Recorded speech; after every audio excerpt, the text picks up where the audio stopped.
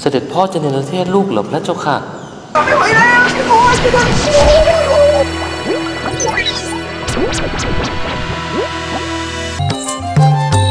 ออกมาเที่ยวเล่นแก้เหงาอย่างนี้ล่ะคะท่านพระเจ้าค่ะไปได้ เราจะไปรักษาศีลอุโบสถ เดี๋ยวน้องจะแปลงร่างเป็นเขียดนะ ภูริทัศน์ไม่ได้อยู่ในที่จำศีลเหรอ ถ้าคว้างไปในอากาศฝนก็จะไม่ตกเป็นเวลา 7 ปี หน้าคงเข้าไปกัดเท้าทันทีลูกเรากลายเป็นกูเพคะ